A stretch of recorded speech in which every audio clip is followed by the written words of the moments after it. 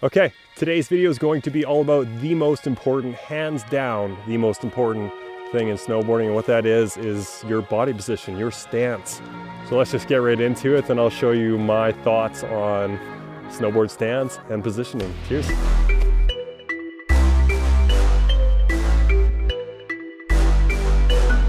I try and adjust my board. Yeah! If you're gonna watch any of my snowboard videos, I highly recommend watching a powder one and then coming back to this one um, as a little refresher or if you're new to the sport. And what we're gonna go over is that snowboard stance and it's by far the most important thing you're ever going to do on your snowboard and what we want to think about is where our body is on top of that board and how our feet are positioned on that board to get the most out of our stance. So the basics of a stance are going to come down to a few little parts. And what that is, is just like when you're standing up normally, we're going to have a slight knee bend to absorb some of those bumps. Our back's nice and straight, just like when I'm standing here, that back is super nice and straight. If I'm too far forward or back, that throws me off, right? It throws off my balance. It does the same thing on a snowboard.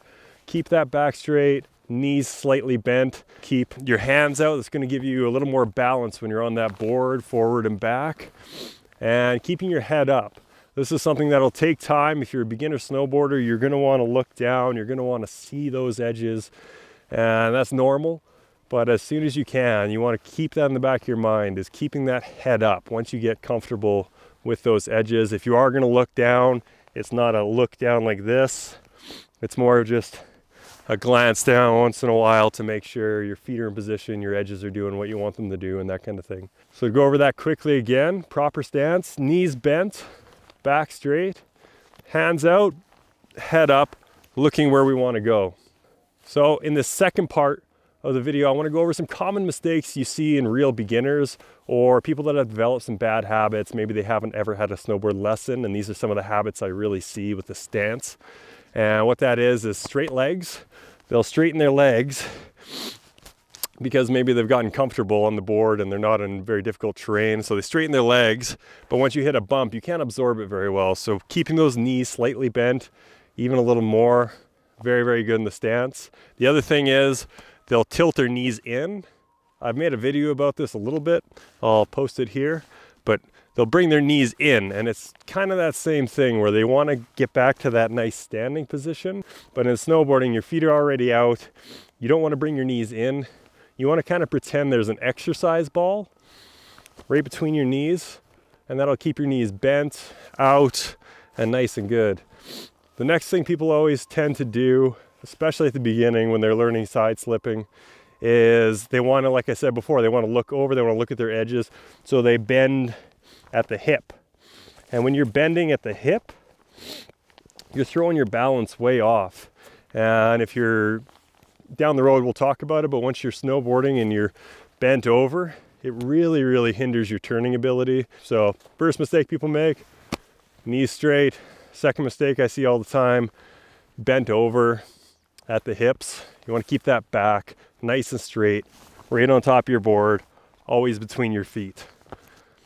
All right, so last thing I want to cover in this video is I just want to do a quick trick for setting up your board. I'm going to do a more in-depth video on setting up your board. Uh, I'll link it down below once I do it. A lot of people don't know how to set up their board, and I think the best way that I've never been taught, but it works really well for me, um, and it's changed over the years given my lack of flexibility now compared to when I was younger. And the trick I like to do is I'll actually jump and land. And I will get my feet as wide as it can while doing a proper jump squat. And I'll do like three or four jumps in a row. And when I land that last jump, I'm going to mark where my feet are. I'm going to take note of how my foot angle is. And that's kind of the width you want to have for a snowboard. So for me, I'm, I'm six foot. My snowboard stance is generally between 58 centimeters center to center in powder to like today's kind of a crusty-ish day on the slope. So I've actually got it out to 60. And just those two centimeters makes a world of difference on the board and when getting in your stance. Everybody's different. Some people nowadays I see with very close stances and that's good for them. I don't have any ACLs left, so that's not a stance that works for me. Um, and too wide is clearly not going to work well either. I used to have a wide stance, like a 62, and I had to get so low all the time. It just wasn't super comfortable, but it was helpful when I was landing jumps and rails and boxes because you have this nice wide platform, you're a little lower, and it works better that way. So there's mix and match. Uh, snowboards are different too, but that's kind of it. Okay, so summary of the snowboard stance. This is what I want to really get across to you guys. Make sure you understand this is by far the most important thing on a snowboard.